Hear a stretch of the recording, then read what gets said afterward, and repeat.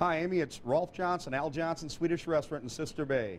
Our another requested recipe is Swedish pancakes. Unfortunately, I cannot give you our recipe. I will lose my job. I will give you the next best thing. It's the closest one that I know of that uh, doesn't duplicate it exactly. But if I was to come to your house and you said you're in charge of breakfast, this is the one I'd make for you.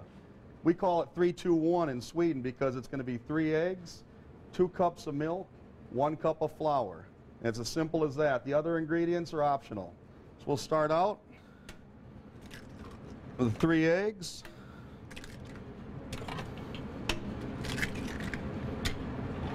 Two cups of milk. One cup of flour. Now, the Swedish pancakes is much thicker, or I'm sorry, much thinner, thinner than the uh, traditional American pancakes or whatever else you see out there. There's no rising agent in it. It's more like a, uh, a crepe. And we make them a little different here than you'll see anyplace else. Now, these are the optional ingredients. If you want to put some sugar in it, which we do, and you can put a little butter in it, which I don't always do at the restaurant. So that was a hint for you right there. And that's about it. Now for this product to work out well for you, you got to let it sit for a day, uh, preferably in the cooler. And tomorrow morning it would be perfect. I happen to have some batter here that is perfect. All right, now here's our finished product. We go through about uh, 18 of these buckets on a busy day in the summertime.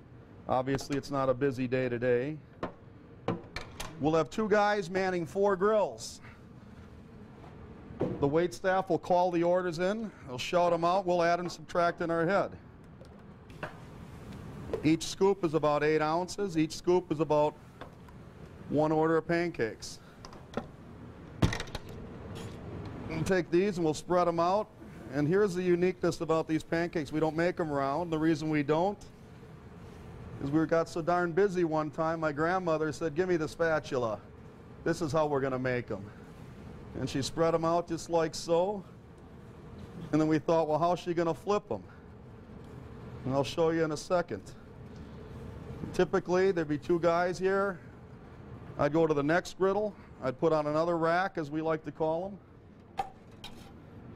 And when I'm done doing this rack, this rack will be better cut and flip. All right. Now we're going to cut them.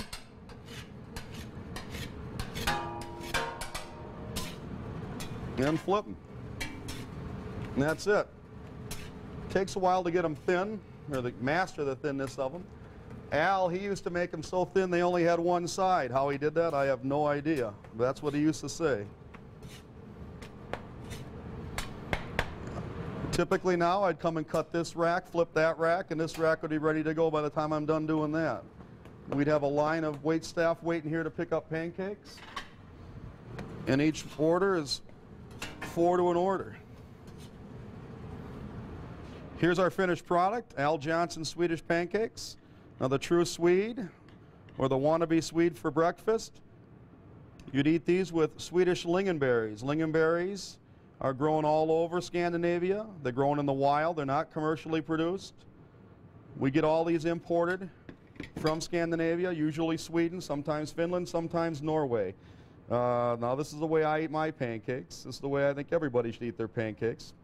Come in Al's and try them out. We serve more lingonberries in North America than anybody, with the exception of IKEA.